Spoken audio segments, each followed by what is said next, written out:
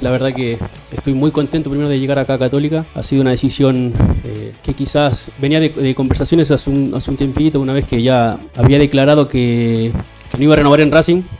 Fue muy, eh, muy prolijo todo, se realizaron las conversaciones, eh, propusieron su proyecto y, seguro que, fue muy, muy profesional en, todo momento y, eso fue la, decisión que tomé para, para venir acá a Católica. me dio una tranquilidad tanto deportivo como, emocional.